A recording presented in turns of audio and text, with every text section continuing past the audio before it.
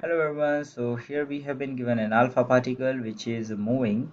with the 2.5 times 10 raised to 7 meter per second towards